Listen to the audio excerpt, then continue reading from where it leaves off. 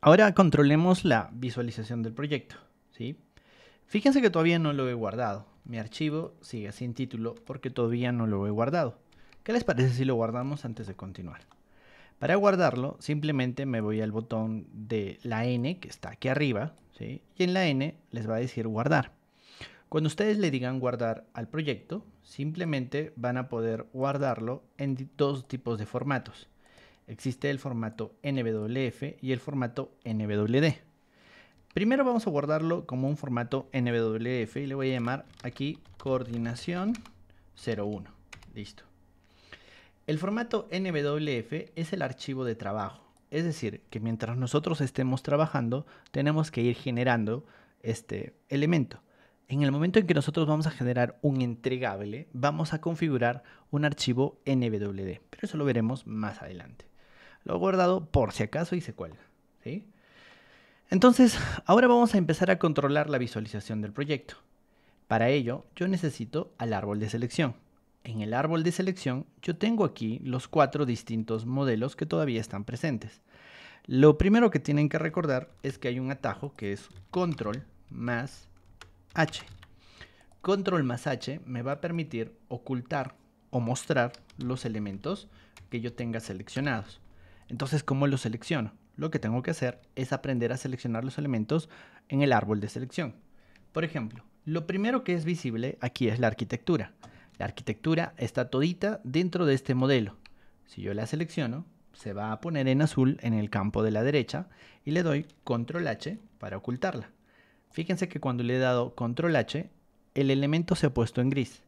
Nuevamente le doy control H y allí está el elemento nuevamente visible. Lo mismo puedo hacer con las estructuras. Las selecciono y le doy control H y me quedo con las instalaciones sanitarias y eléctricas. ¿Qué les parece si empezamos con las instalaciones sanitarias? ¿Listo? Antes de continuar, tienen que recordar que para que la visualización o los colores que nosotros vayamos asignando se puedan ver, es necesario que en puntos de vista nosotros estemos en el modo sombreado, porque en el modo renderización completa a veces se van a notar los materiales originales. Así que esto funciona en el modo sombreado, en punto de vista. No se olviden. ¿Listo? Ahora tengo las instalaciones sanitarias. Si yo selecciono un elemento, como por ejemplo este, en el árbol de selección me va a seleccionar la tubería y me va a seleccionar el elemento específico de tubería que yo tengo. Entonces, miren, este es un proyecto sencillo. Tiene una batería de baños, es parte de un colegio, y lo que se van a dar cuenta es que tengo modelo de sanitarias de la parte de desagüe, de la parte de agua fría y de repente hasta de la parte de agua caliente. ¿sí? Pero yo quiero ubicar o lo que quiero es controlar un diferente elemento, eh, pero los dos son tuberías. Entonces yo tengo que reconocerlo por algún parámetro. Para ver los parámetros, yo me voy a la pestaña de inicio, teniendo seleccionado algún elemento, yo puedo activar la, el botón propiedades.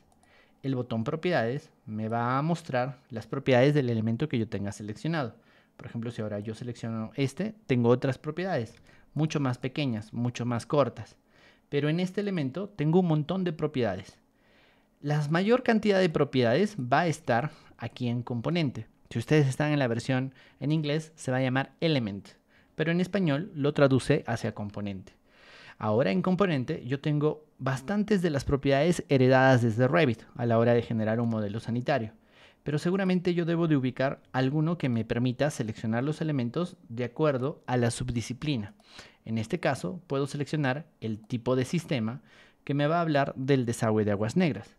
Por ejemplo, si yo selecciono una tubería de este tipo, el tipo de sistema ha debido de cambiar a agua potable. Entonces yo puedo utilizar ese parámetro para ubicar todos los elementos que pertenecen al desagüe o todos los elementos que pertenecen al agua fría. Entonces yo necesito cambiar la visualización porque por el momento la visualización es la visualización estándar. Aquí ustedes van a tener múltiples opciones que yo puedo descargar o puedo desplegar. Y allí están las opciones para ver el elemento o el proyecto por propiedades.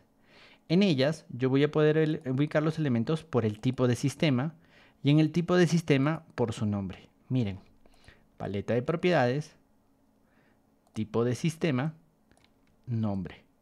Y allí precisamente aparece el agua potable y el desagüe de aguas negras.